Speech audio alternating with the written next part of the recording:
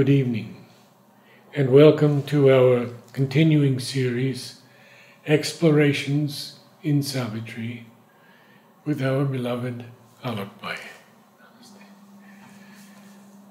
On this day, November 17th, 45 years ago, Mother left her physical body. For many of us, it was a deep physical blow. We obviously had not grown enough to understand that she had universalized herself. But we saw that small body lying there in the meditation hall half crippled up because she could no longer lie flat. We had been in Bangalore collecting plants for the Matrimandir. Oh, you were in India at that time? Yes. Oh.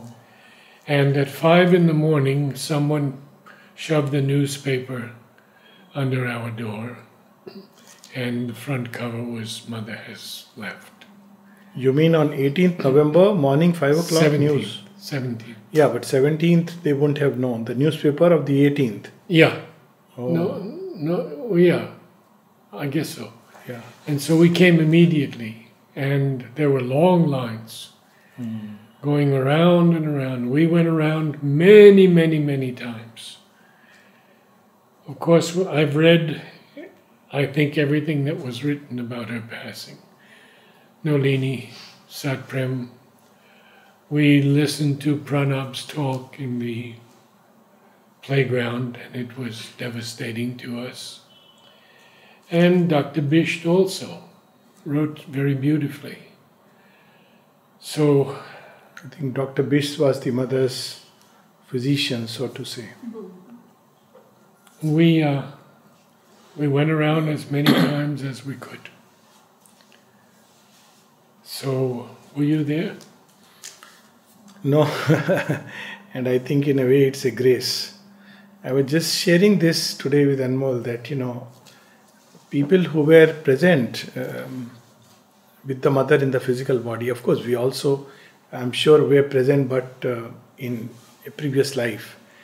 Uh, so they depended so much on the physical body and the bodily presence that they felt this deep shock.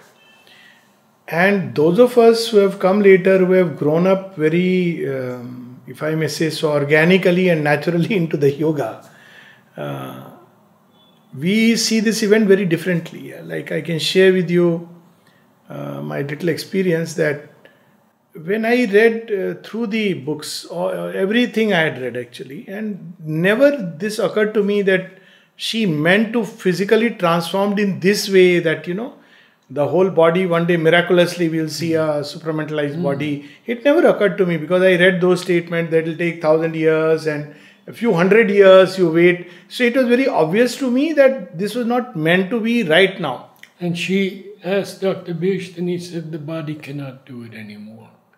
yeah well dr Bisht had a very uh, I, I know him very well uh, and he has shared many things he had his own limited vision and the beauty is mother wanted somebody with a limited vision she said i want somebody who can just tell me physically what is happening Yes. Yes. and not look at it from the deeper angle. And he didn't have that. That's the best part. Yes. But he had his own uh, deep connection with the mother.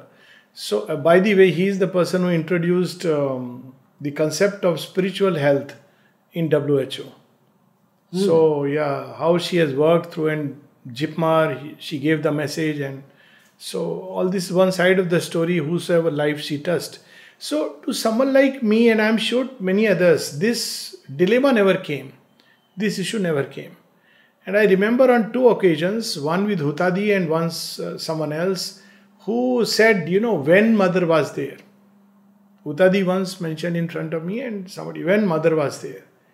And I spontaneously said, please don't say that. So I said, I mean, when you say was, it doesn't make any sense to us. Like she is so concrete and real and living.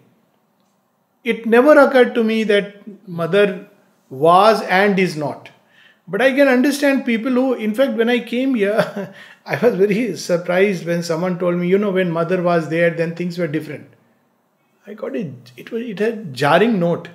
I've been coming for years, and you know, it never struck me that she's not here. But I, uh, I mean, so probably I think though they were very much physically dependent, and the Divine Mother wants us to progress inwardly enough. When Ravindraji was asked that was the yoga easier that time, he said no, because uh, we largely dependent on her physical appearance and she kept reminding that I am not this. Yes, yes.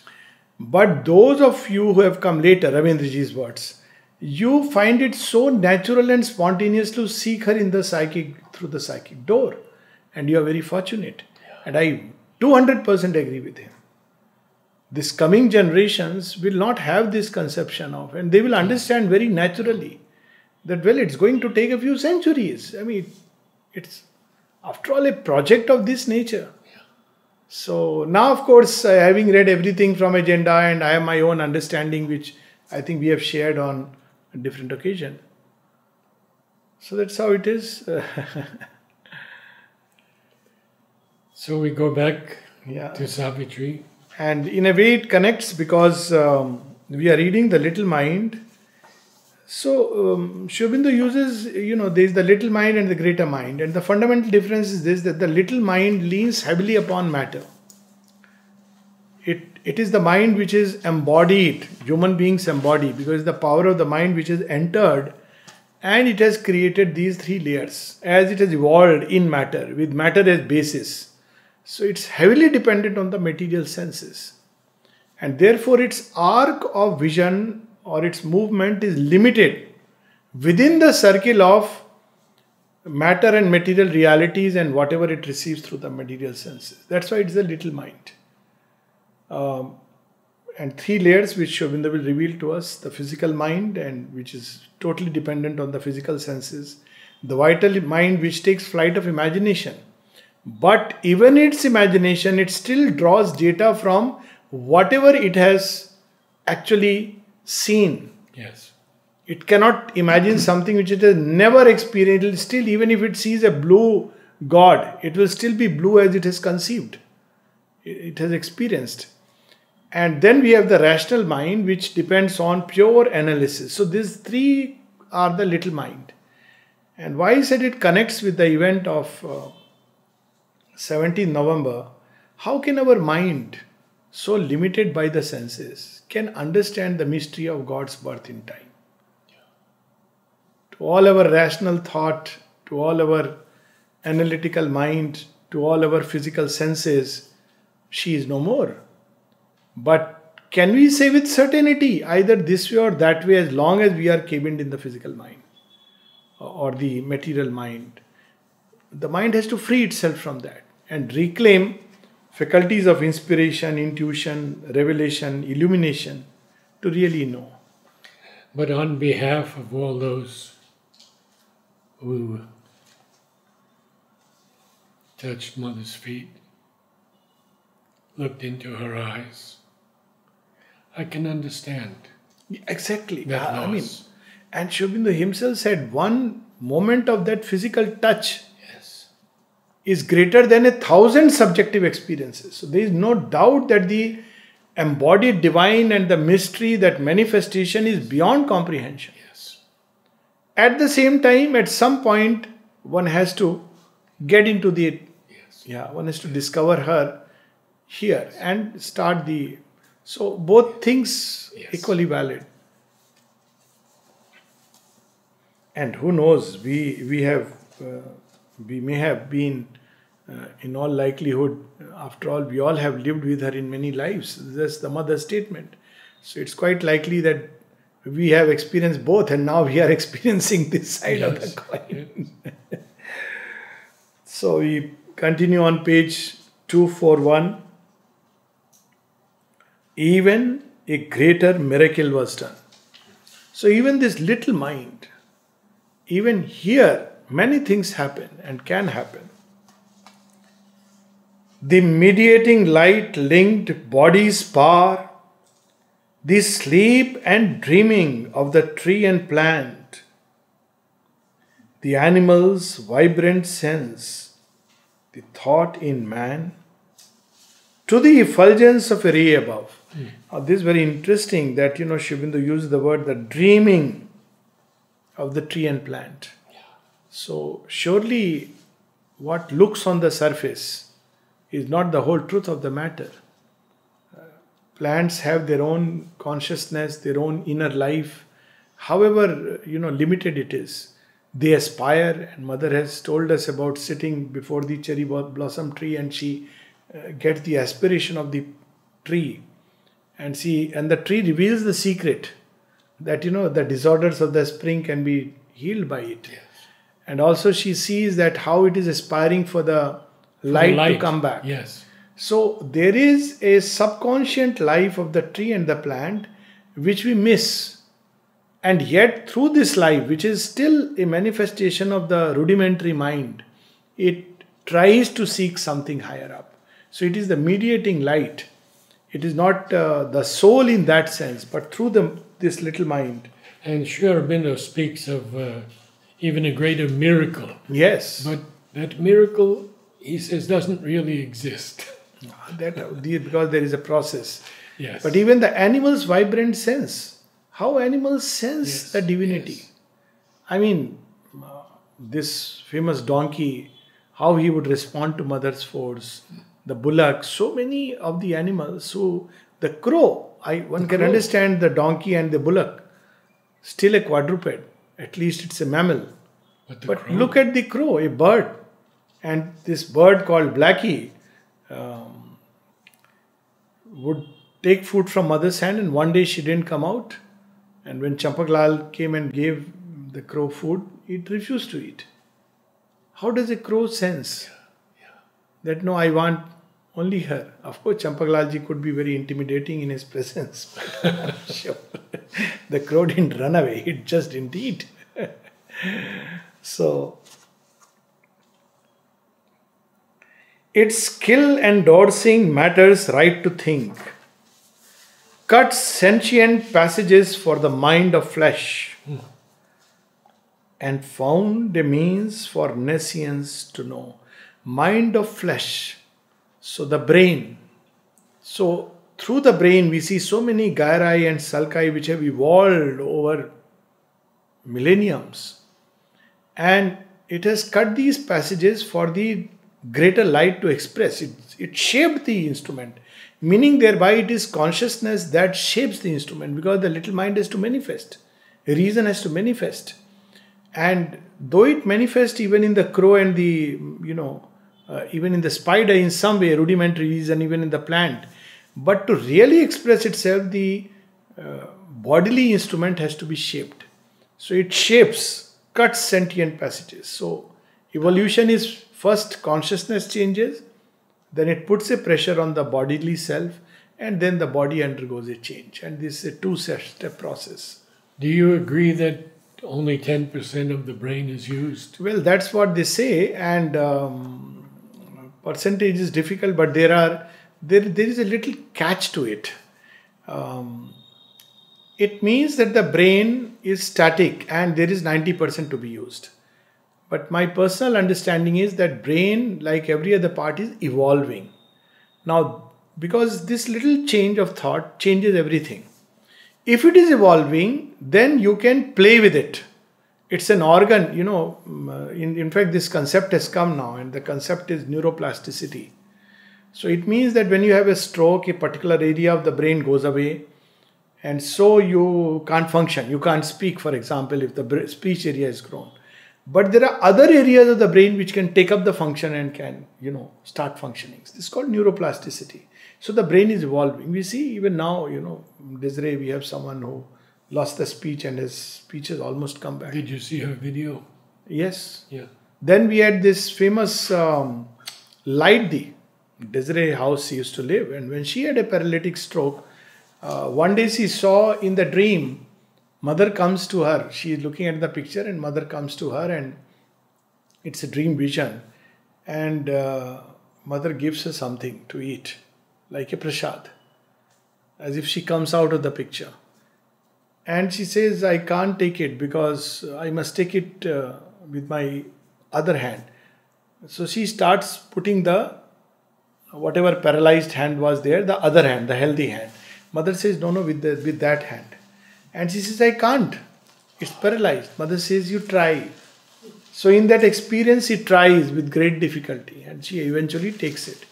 Then she took it as an indication, and every day she would do this little exercise. With the other healthy hand, she would lift the other hand as if she is feeding something to the mother. And she recovered her function fully. So you see, there is um, a constant change. So it's true that there is a lot of areas of the brain unused, but it's also true that new areas are coming into play. And scientists are discovering it, which is amazing. Because ultimately, even when intuition manifests through the physical, it has to have some kind of a instrument readiness. Yes. So uh, this is a big conundrum because you know people often uh, say that it's the brain which uh, which is the because of which there is consciousness but here it's the other way around it is consciousness that shapes the instrument and mother says that uh, even in a coma the yes, mind is still yes, growing that, that is uh, uh, they have done research i have been there actually to the faculty in NIMHANS where they oh. do consciousness research and they actually found that even when somebody is in coma uh, and you say something see people forget that in coma your uh, ears are still open your touch is you don't know what's happening inside. And when they said certain words the certain areas of the brain responded. So they concluded yes. that uh, and that's why i keep telling people that when somebody is in coma don't think that he's already dead. There is a difference between the two so go and touch. Maybe you know say gently into the ears that everything is fine or just that you know we love you. We're grateful for all you have done. So it helps because there are other means through which communication goes and it has been registered now that yes something does get registered because there are you know instruments like yes. that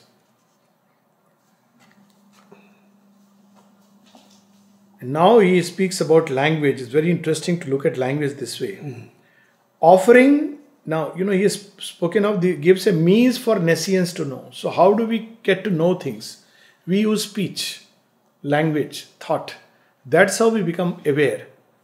Uh, somebody is very restless. One doesn't know why one is restless. Then it takes the form of a thought. I want to eat this. That's my desire. It takes a form. It takes the form of a language, a body of words. So, language evolved essentially to express what's happening inside in terms of consciousness. It gives a form. So, here he is saying, offering its little squares and cubes of word as figured substitutes for reality. Now, this I feel is so important because in, in this whole few lines that follow, that we should not think the word is the reality. When mother was asked that, what is it that you put into your words which makes it so powerful that when we read it, it awakens us? The same thing if somebody else says. Sometimes mothers one liners. Yeah learn to live within. Now, you know, anybody can say it, but when you read it from the mother, it's like it hits you. Now, what is it? She was asked. This is a long question. Mother's reply is one word consciousness. So, words are a means to touch the consciousness and not to get lost in the external meaning. That's why Sri Aurobindo, there is a whole um, essay on the word of the scripture where he says many people they get lost in the external maze, word meaning. Whereas actually you have to touch the essence, which is consciousness. So here he is explaining that that it's a substitute for reality. Substitute can never be the reality. It may be a good substitute or a bad substitute. A mummified mnemonic alphabet. Look at it it helped the unseeing force to read her works. Mnemonic, it's like uh, a string of words which are used like a memory peg to remind us of something else. So when we use the word, it's just like a mnemonic, mummified, like you know, Krishna, Krishna. Now you know people say Krishna, Krishna, but when Draupadi says Krishna, Krishna manifests, it's so interesting because she puts that thing in the word which may be missing. So otherwise it's nothing but a mummified mnemonic. You are saying Krishna, but you are not remembering the being, the power, the force You're just saying mechanically. And she says that's what the difference in a mechanical mantra and a mantra which to which you add from the heart. So otherwise it's a mummified. Look at the word, not just mnemonic, mummified. Means it's like a rigid, something rigid, dead. It helped the unseen force to read her works. A buried consciousness arose in her, and now she dreams herself human and awake because of this language. Uh, That's all. And mother says at one place, you know what? Human being thinks they are uh, very superior because they can express. What do you know? Animals can't express in their speech. They can't give beautiful speeches. So you think that they are not feeling? They are feeling. They are feeling more than human beings, but they can't express. So, you know, don't think that because they can't express, they don't feel, they feel more. the sense of superiority because we can express. So we become human because now we can give a form. But all was still a mobile ignorance. That's why hmm. words which are meant to throw a bridge between two consciousnesses becomes a means to cut the bridge between two people because that's how you know we get lost in the words. We don't touch what is behind. So often we hear people saying this is not what i meant. You have got me wrong. Mm-hmm. got me wrong because you saw my words and you did not see the heart which is behind. It's a whole world of understanding. Still knowledge could not come and firmly grasp this huge invention seen as a universe. So there is a word for everything and there is a specific meaning. And yet it cannot grasp the reality because what is behind is ineffable. You cannot describe it. The moment you describe it, you lose it. It's beyond words. Beyond words, precisely because words will uh, cut a section, then another section, and try to put them together. But the reality is not like that. That's why Mother says that, you know, supramental speech is not yet come. You cannot describe the supramental experience because words cannot convey. They are used to three dimensional and at most plus time dimension, they cannot convey. Savitri is the closest. Savitri is the closest, that's right. And even there, Sri Aurobindo says it's not yet supramental speech. A specialist of logic's hard machine imposed its rigid artifice on the soul an aid of the inventor intellect. It cut truth into manageable bits. This is exactly what we were saying. Yeah. So, when we were, um, there is a joke about it. Uh, we'll read this passage, then I'll tell you. There is a very interesting joke. That each might have his ration of thought food, then new built truth's slain body by its art. So when we joined the medical college, you know, some of us came from a religious background, some traditional, some others atheist. So there used to be the joke, and some of those who didn't believe in, you know, soul or God, are we are cutting the dead body every day. Where is the soul?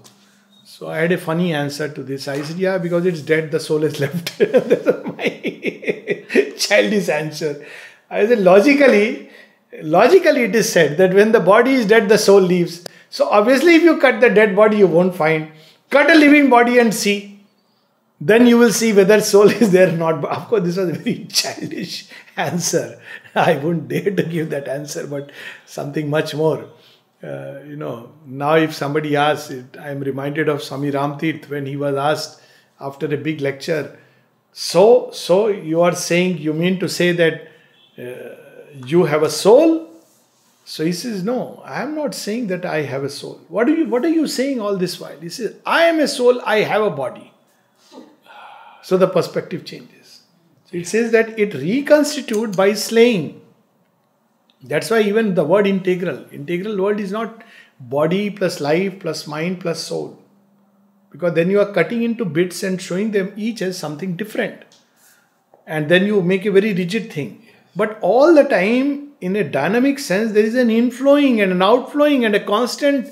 The soul flows into the body, its substance, it gives to the body a sweetness, a lightness. Because it's not that, okay, soul is there and this is the body. And similarly, the body's inertia can cloud the soul. It's, it's like that. And now, see how futuristic Sri Aurobindo is a robo, exact, and serviceable, and false. How punchline, you know. Today we are talking of artificial intelligence. And uh, that was my take on it. Someone asked me, I said, artificial intelligence is all all right. That's a project, those who are interested, let them work on it. My interest is in divine intelligence, how human beings can evolve their intelligence toward divinity. But if we don't evolve and the robots come into play, then Isaac Asimov may be quite right that the rise of the machines. So we need to evolve our spiritual intelligence, or rather a mentalized intelligence, into a spiritual and a divine intelligence. Then robots are okay. But then you will rule them. Otherwise, they will begin to rule you like any other machine. So he speaks of it that it is a robo exact and serviceable and false. and false. Displays the spirit's finer view of things.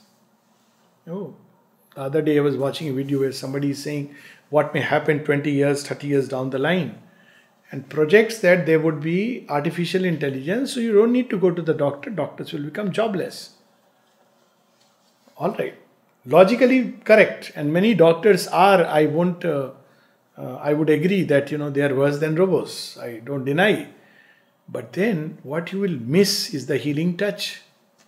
People don't go to doctors as a mechanical machine that you feed in the data and he comes out with a prescription. That yes, the robot can do. But who is going to say that don't worry, you'll be fine? Probably the robot will be very blunt and say you got cancer, malignancy, last stage, please sign, make it will, last will, and be done with it. I give you three months. That's the end of the story. And after that, if the man says, really? Well, three months, that's how the robot will repeat. But a doctor wouldn't say that. He would say, well, my science is imperfect. Who knows? You must keep your will alive. Maybe celebrate every day of your life, even if you have three months or three days.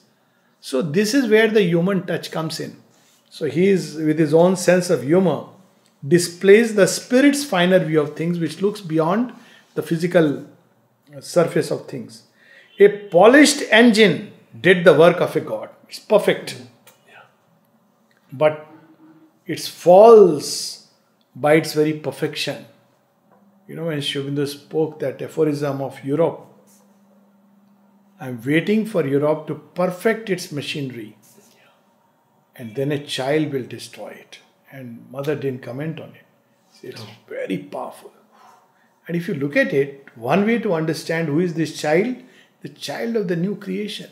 Yes. The soul which yes. plays with it, it because how many issues will you try to solve one issue with logic another will come up. It's standing round the corner. None the true body found its soul seemed dead. None had the inner look which sees truth's whole. Mm. all glorified the glittering substitute so even the true body, we don't know. This gross body is not the true body. We can take the true body in the form of the subtle body, the inner bodies, and the soul itself. So none could find it. And they, the glittering substitute, the outer shell. Now, because this has happened, there is another power that emerges. Then from the secret heights a wave swept down. Now again you see before the emergence from within, there is a pressure of the consciousness from above. A power is sent by the higher states to enter into matter and awaken it because otherwise it's uh, getting locked into a very small movement. The involution. Involution. This is more than involution, it's now already there is an involution of these layers, but there is that level which is already involved. Corresponding to that, the power comes and presses upon matter to bring out. Like supermind is already involved so when Mother and Sri Aurobindo come holding the supermind, and now there is the supramental manifestation, it will bring out that which is already within. So this power sweeps down. This power actually, imagination, is the formative Maya, which in human beings turns into imagination. Imagination gives forms. And see, it is a greater reality. Look at, you know, uh, virtual reality shows, those who have attended, it's amazing. You know it's not real. And yet you go through all the experiences. You really feel, and you keep reminding it's not real. You look around and you say it's not real. And still, your body, your mind, everything is reacting. It's so strange. Have you done this thing with the glasses? Yeah, yeah, I know. Oh, I have two, three places, and recently I had the experience of the 12D, where you also they also give those water and uh, smells, etc. And um, in this 12D, they took through a, a very fast ride.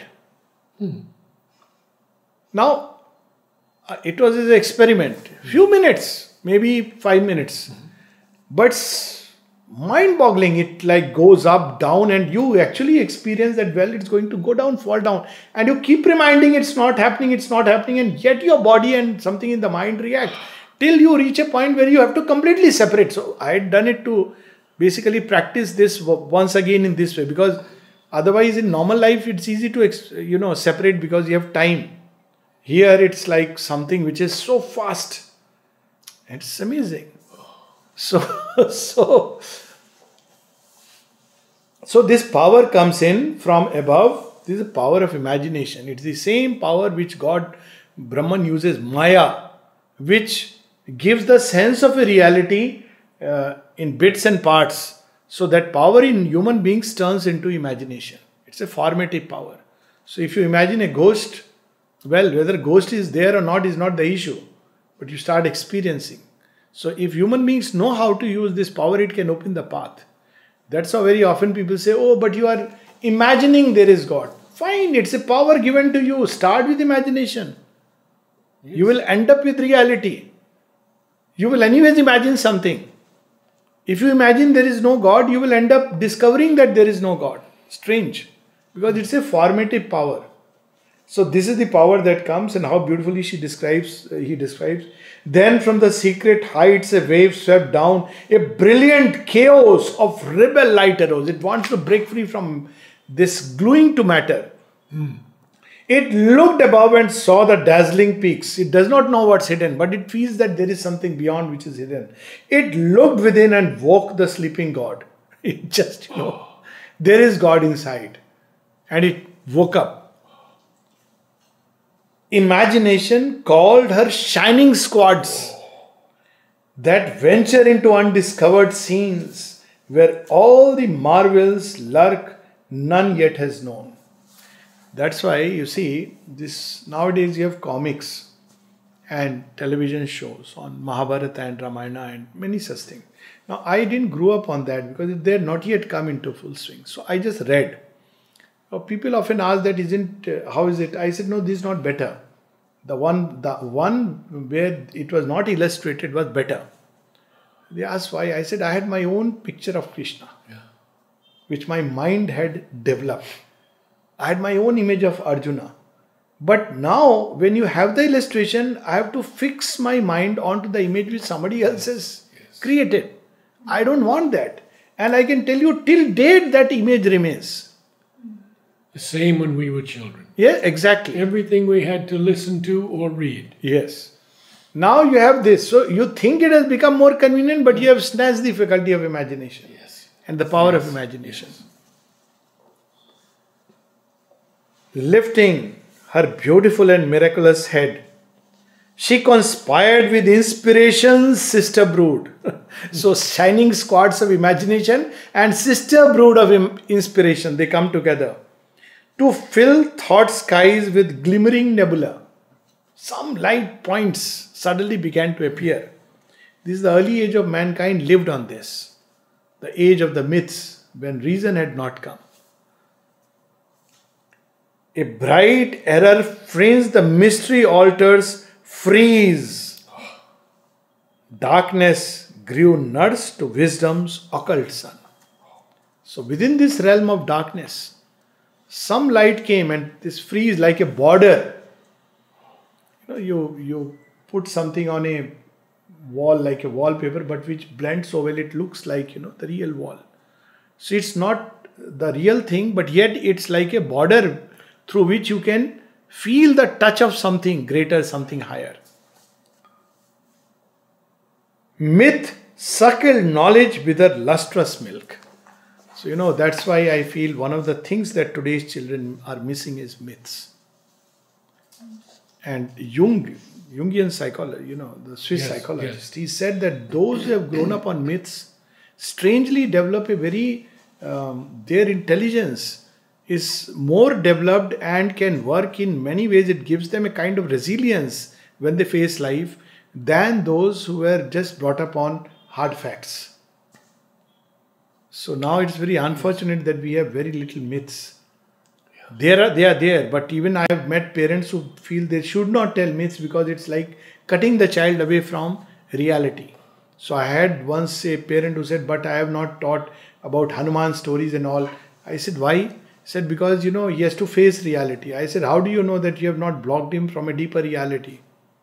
You have snatched away his possibilities, potentials, his aspiration to one day fly and catch the sun, the deeper arts, psychic arts to serve the Lord. You have just snatched away everything and given him what?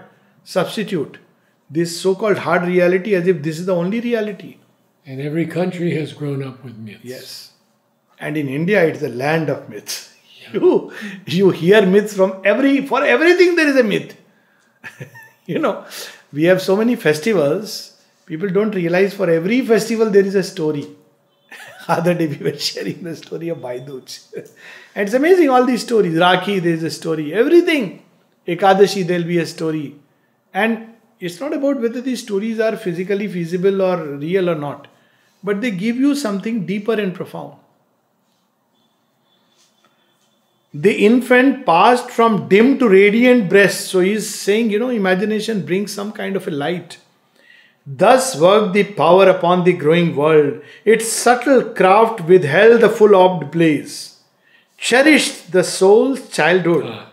and on fictions fed, far richer in their sweet and nectarous sap, nourishing its immature divinity, than the staple or dry straw of reason's tilth. tilth you know that soil when you the first uh, things which grow on that? Dry straw and freeze and stilt. He says it looks fiction. Yes. It's it, it you know you have to be too foolish to believe that actually monkey was speaking in a you know human language or the the bear was you know um, speaking in a human language or monkey was flying. Obviously it's obvious the story is not true in a physical sense. And if you start taking like that, that Krishna was actually blue in color when he was on earth, or Shiva is holding a serpent all the time, a very inconvenient serpent, so to say, you know, obviously you, you are fooling yourself. But if you look at the symbol, it gives you a far richer truth. You know, one line, since we are at Ramayana, you know, and people often, do you really believe Ramayana existed? Uh, how can monkeys speak? I said, that's not the issue. Ramayana is not trying to prove a point that monkeys spoke.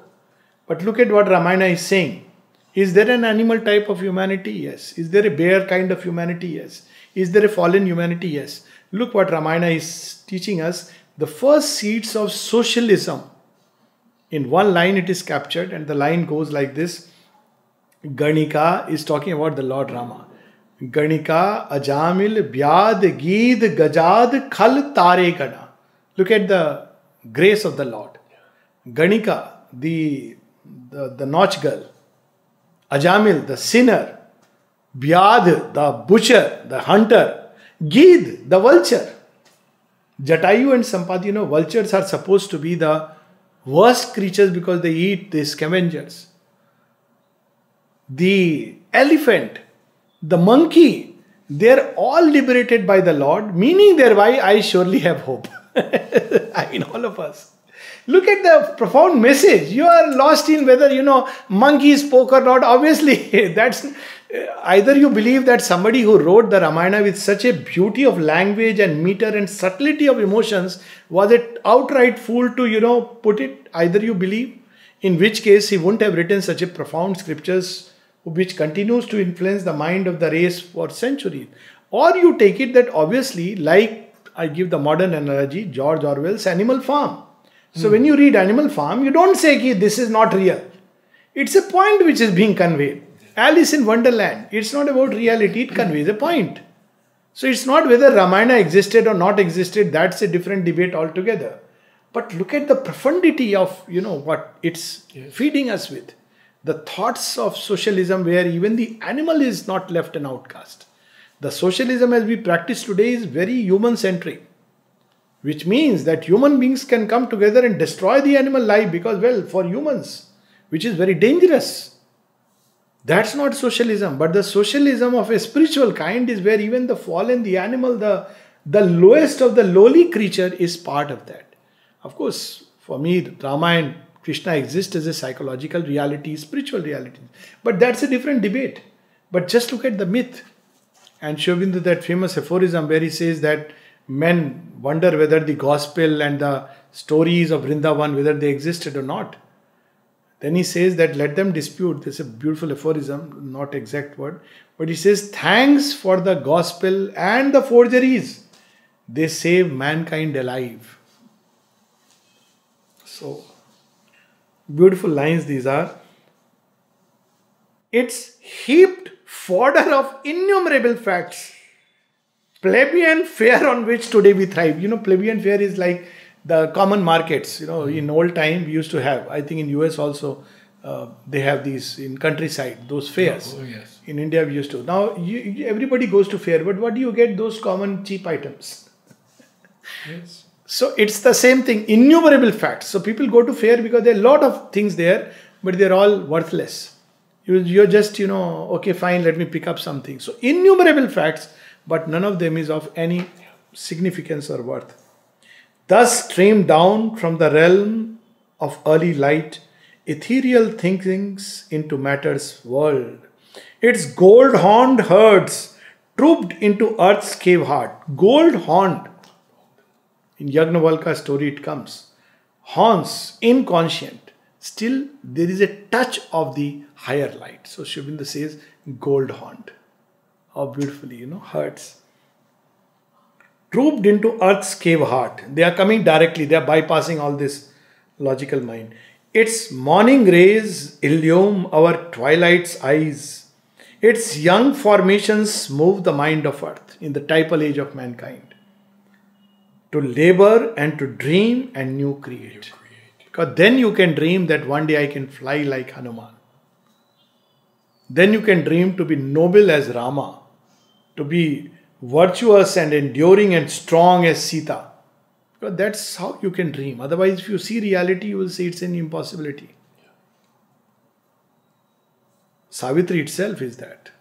You can conquer death to feel beauty's touch and know the world and self, the golden child began to think and see. So, golden child is obviously the truth soul which has entered into matter and now it is emerging out. So, as it emerges, it begins to think and see, even though it is yet to develop its deeper eyes. So, we'll stop here.